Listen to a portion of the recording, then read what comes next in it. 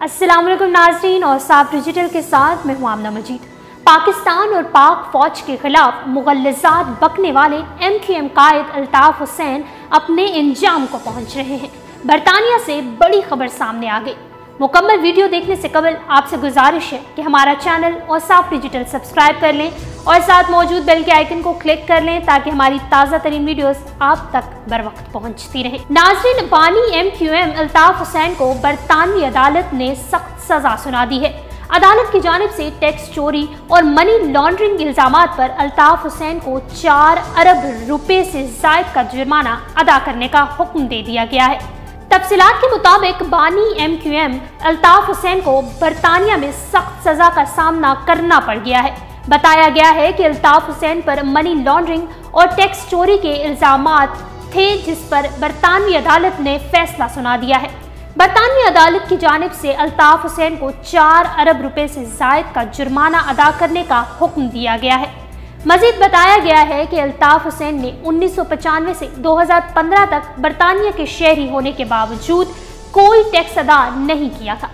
अल्ताफ़ हुसैन के माहाना अखराज पचास हज़ार पाउंड तक हैं, लेकिन उनकी जानब से कभी टैक्स नहीं अदा किया गया। अदालत में बानी M Q M Altaf Hussain के वकील ने मौकफ इख्तियार किया है। चूँकि अल्ताफ़ हुसैन के अखराज अतियात की रकम से पूरे किए जाते हैं, इसलिए उन पर कोई टैक्स आयद नहीं होता। लेकिन अदालत ने वकील का मौकफ मुस्तरद करके अल्ताफ़ हुसैन पर चार अरब रुपए से जायद का जुर्माना आयद कर दिया है। जुर्माने की अदम अदायगी की सूरत में अल्ताफ हुसैन को जेल भी जाना पड़ सकता है। बानी M Q M Altaf Hussain अपनी कॉन्ट्रोवर्शियल पर्सनालिटी की बदौलत अक्सर बेशतर खबरों की जीनत बनते रहते हैं। कभी पाकिस्तान के खिलाफ बातें तो कभी पाकिस्तान के सिक्योरिटी इदारों के खिलाफ मुगलजात पकना न सिर्फ़ पाकिस्तान के खिलाफ बकवासियात करते, बल्कि हिंदुस्तान की हिमायत और उन्होंने हिंदू मज़हब इख्तियार करने के लिए मुतद बार कोशिशें भी की हैं। और मुतद बार इंडिया से मदद की अपीलें भी की और उनके हिंदू मज़हब इख्तियार करने की खबरें भी सामने आती रहती हैं। अल्ताफ हुसैन का मार्च 2017 में एक और बयान सामने आया था, जिसमें उन्होंने इंडियन वज़ीर आज़म नरेंद्र मोदी से अपील की थी कि वो पाकिस्तान में मौजूद मुहाजिरों की मदद करें। बकौल उनके, पाकिस्तान में मुकीम मुहाजिर दरअसल इंडियन है, इसलिए वज़ीर आज़म मोदी को उनके हकूक के लिए आवाज़ उठानी चाहिए। न सिर्फ़ हिंदुस्तान की मिन्नतें की, बल्कि हिंदू मज़हब भी इख्तियार कर लिया। मारूफ एंकर नादिया मिर्ज़ा के मुताबिक अल्ताफ हुसैन ने भारत की शहरियत इख्तियार करने के लिए हिंदू मज़हब इख्तियार कर लिया है।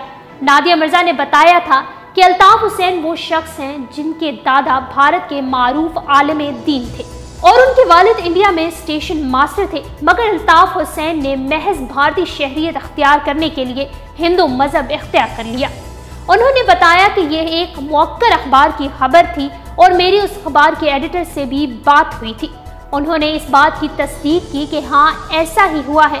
नादिया मिर्ज़ा ने मजीद बताया था कि लंदन सेक्रेटरीट तक जब ये बात पहुँची कि गैर मुस्लिमों को भारत की शहरियत नहीं दी जाएगी तो अल्ताफ हुसैन ने उसी वक्त तीन सवामियों, यानी हिंदू मजहबी पेशवा को बुलवाया। वहाँ हिंदू मत के भगवानों की मूर्तियाँ मंगवाई और उनके सामने झुके या सजदे। नादिया मिर्ज़ा का कहना था कि वहाँ भारतीय सफीर भी पहुँचे जिन्होंने अल्ताफ हुसैन को शहरियत के हवाले से भारत के मौजूदा कानून के बारे में बताया था। तो अल्ताफ हुसैन ने कहा कि मैं अब मुसलमान नहीं हूँ और मुझे इस बात पर कोई शर्मिंदगी नहीं है। मेरे आबाओ अजदाद मुसलमान थे। एंकर पर्सन नादिया मिर्ज़ा ने मजीद बताया था कि अल्ताफ हुसैन ने भारत की शहरीत हासिल करने के लिए दरख्वास्त दायर कर दी है, जिसके मुताबिक हिंदुस्तान में कोई भी मुसलमान भारतीय शहरी नहीं बन सकता। ये बात जब अल्ताफ हुसैन को पता चली तो उसके बाद उन्होंने ये सारा काम किया और मज़हब तब्दील किया। वाज रहे कि एंकर पर्सन नादिया मिर्ज़ा के इन इंकशाफात के बाद उन्हें पाकिस्तान में सोशल मीडिया सार्फिन की जानब से बेपनाह तनकीद का सामना रहा था। जिसके बाद उन्होंने अपने वीडियो पैगाम में बताया था कि ये खबर उन्होंने कहाँ से ली। नादिया मिर्ज़ा का कहना था कि गूगल पर सर्फिंग के दौरान उन्हें अखबार की एक कटिंग दिखाई दी, जिसमें अल्ताफ हुसैन वाली खबर मौजूद थी। तहकीक की तो पता चला कि वो एशियन न्यूज़ की खबर है और उसके एडिटर डॉक्टर अब्दुल वदूद कुरैशी की जानब से ये खबर दी गई थी और उन्होंने इस खबर की तस्दीक भी की थी, जबकि नादिया मिर्ज़ा अल्ताफ़ हुसैन को अपनी वीडियो में ये पैगाम भी दे चुकी है। नाजरीन, आपने हमारी आज की वीडियो देखी। अगर ये वीडियो आपको पसंद आई है तो इस वीडियो को सोशल मीडिया के तमाम प्लेटफॉर्म्स पर ज़्यादा से ज़्यादा शेयर करें। लाइक करें और आप अपनी कीमती राय का इजहार भी कमेंट के ज़रिए कर सकते हैं। डेली और साफ़ को इंस्टाग्राम पर फॉलो करने के लिए डिस्क्रिप्शन में दिए गए लिंक पर क्लिक करिए।